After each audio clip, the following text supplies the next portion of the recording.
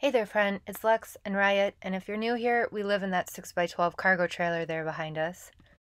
As I'm putting this video together, I'm currently in Florida, but when I last left off, I was just entering a lot docking situation in Alabama, which provided me some room and space to take a breather and meet some animals and get some projects done on the cargo trailer, which is going to be the primary crux of today's video is the adjustments. I wish they were improvements, but let's call them adjustments to the cargo trailer that I have been making.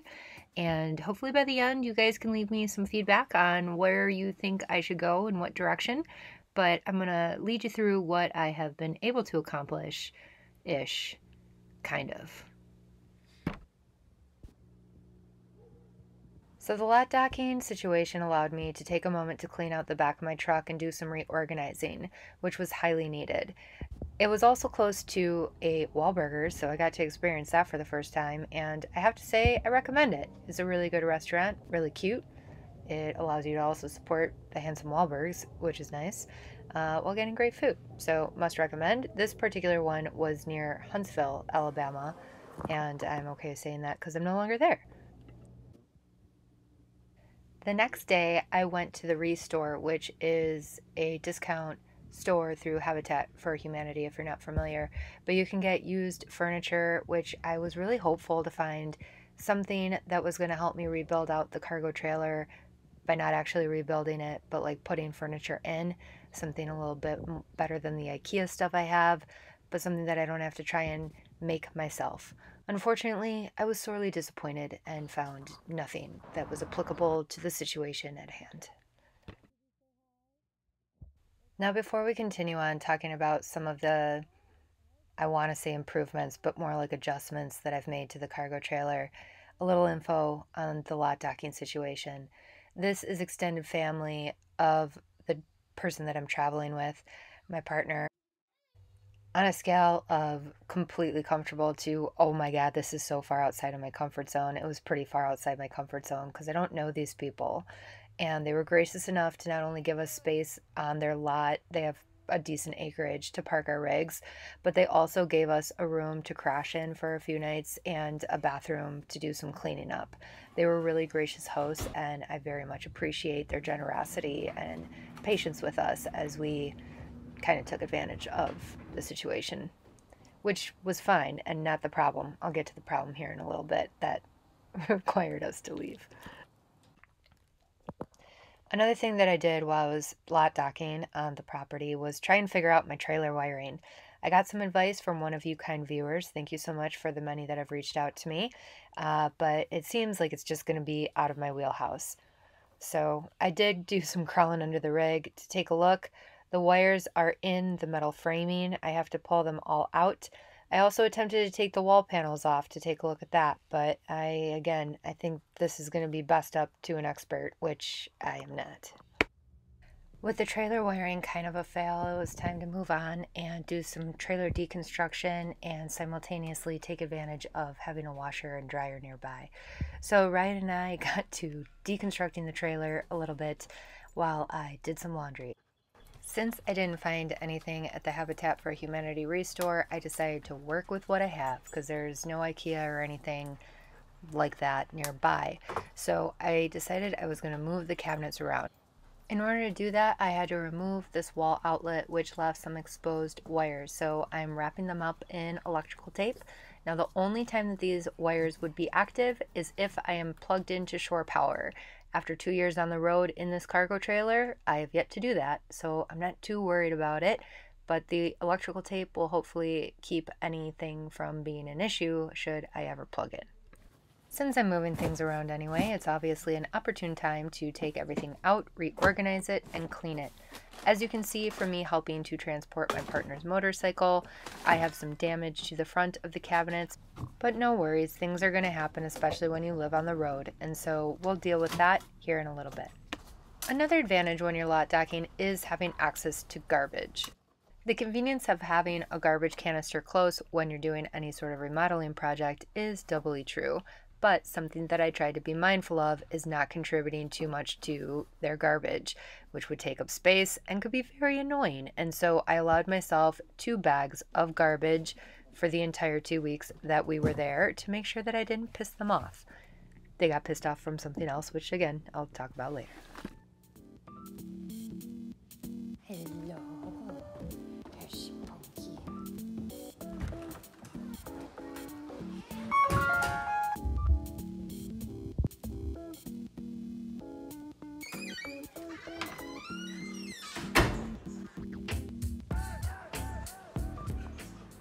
Another objective I had to keep steady throughout the two weeks is my job. Now, I work kind of part time as a virtual assistant and I'm able to freelance those hours so it isn't so bad. Basically, it means I get time to stop and say hello to roosters and dogs and do laundry and fix up my cargo trailer as long as I get my hours in throughout the rest of the day. Hi, Hyas.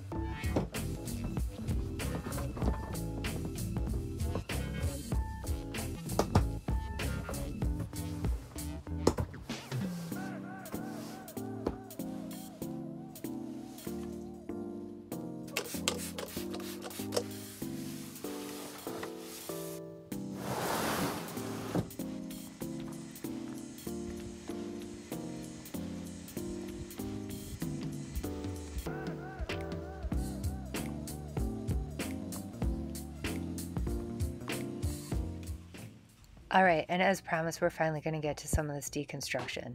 Not that we haven't really, but it's been intermixed with cleaning. At any rate, we're going to start by taking this ding countertop off. Now, I only use spar urethane to seal this, and I would not recommend that going forward, or at least be ready to redo it maybe every six months because it does not hold. Now these cabinets that I have here are from Home Depot and they're technically kitchen wall cabinets. So they're supposed to be mounted up on the wall, which means they're only one foot deep, which is great because I have a tiny space. Because I'm using them more like countertop cabinets or as a base for a countertop, I just have them kind of haphazardly screwed into the wall to make sure that they didn't move while I traveled. And I have to take those screws out now to move them. Now, I've been on the road for two and a half years and in this cargo trailer for two years, and I have yet to ever move these cabinets. And it's extremely humbling to see what happens when you don't seal the back of the cabinets to the wall. It's disgusting. Not only do I have coffee stains running down the back of the wall once I remove these cabinets, but behind this one, I have bacon grease. And I remember this happening. I tried to put hot bacon grease into a mason jar when it was still hot, causing it to explode, and I had glass and bacon grease everywhere. I thought that I caught most of it, but really I didn't, and it's disgusting. So if this ever happens to you, just remove the cabinets right away and clean it up because this was one of the nastier things that I've ever experienced, and it's in my own house.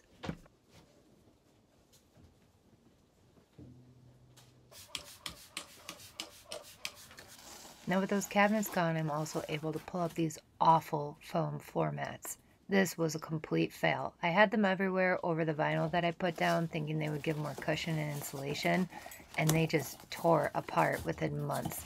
So I cut around the cabinets, and this is all that was left, and I'm so thankful to get rid of it.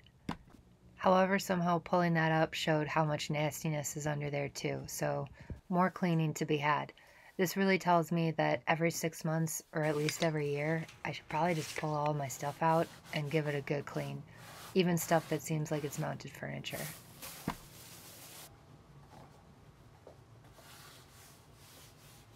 Another fail that I have here from my original build is not using enough glue for this vinyl flooring. I was kind of unsure of using the vinyl flooring, so I didn't do a good job gluing, but now I have these goddamn balls that I don't know how to get rid of. Now, naturally, it wouldn't be a Lex and Riot DIY video without some sort of injury, so of course I have to take a moment to address one.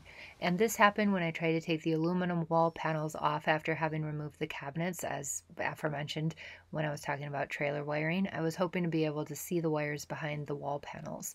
Uh, this was not a reality, and I just simply got an injury in the process. No big deal, though. We'll move on.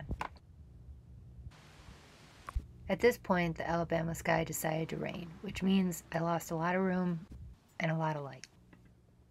Instead of fighting the conditions, I decided to work with them and run to the grocery store to pick up ingredients to make dinner. Now, I can cook for myself, I can even cook for me and one other person, maybe, but to cook for 11 people is something different. I enlisted the help of my mother, who sent me an easier version of an old Lithuanian recipe for spinach quiche. And uh, I did my darndest, and it turned out edible.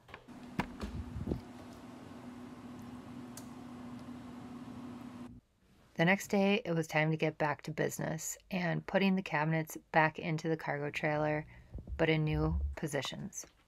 Now, one of the challenges I ran into when trying to move things around the way that I wanted to was things that I already had installed, like the diesel heater.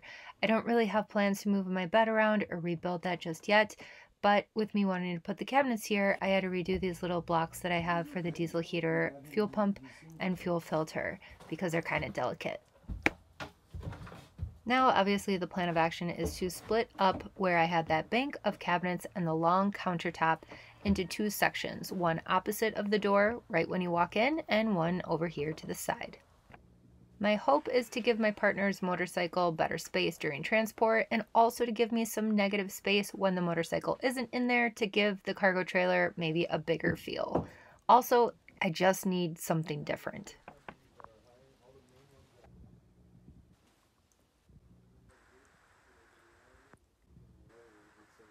After spending a little time just simply staring at what I've done, I decided sufficient for now and re-anchor the cabinets to their new positions in the walls with some screws and call it a night. The next morning, I decided to get my virtual assistant work out of the way first thing, take some time to say hello to the hens and the roosters,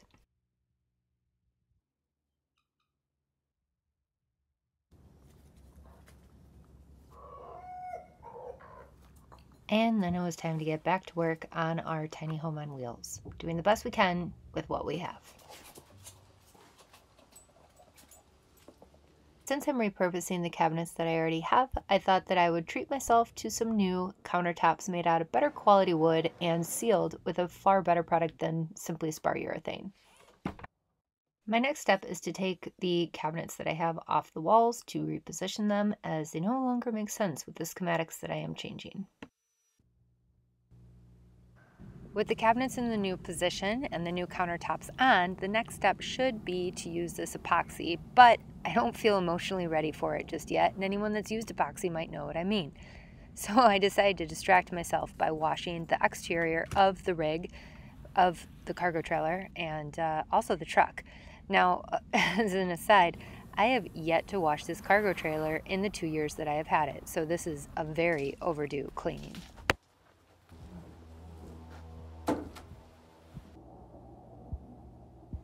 Now, before I could get back to work on the cargo trailer, we promised that we would help the family that we're staying with move goats from their old house to this new house that they had just moved into that we're staying at. Oh,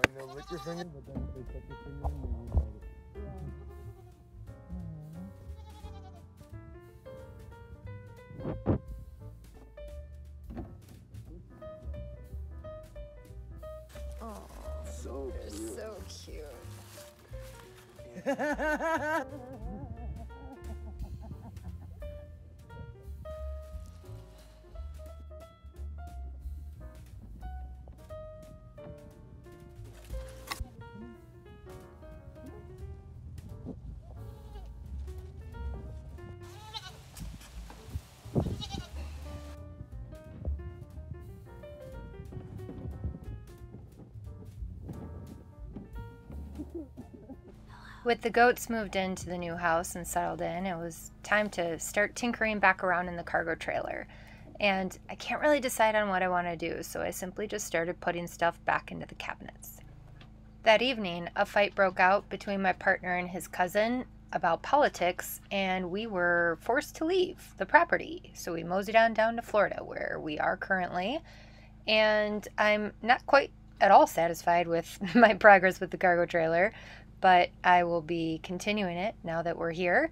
And uh, you can kind of see the state of disarray that I'm living in, which is rather uncomfortable. Some people already feel a nomadic life is uncomfortable, and then you look at this hot mess and you wonder why they think that. Uh, but we're going to continue making some progress. So I hope you'll join us for the next video where I talk about this awesome free camp spot we have here in Florida, and hopefully I have more progress livable progress than what you're currently looking at. So, thank you so much for joining us for this somewhat hot mess of a video, and we look forward to seeing you for the next one. So, you too can enjoy what it's like to live full time on the road in a cargo trailer while working full time because you just simply like the freedom. Thanks, guys. We'll see you next time.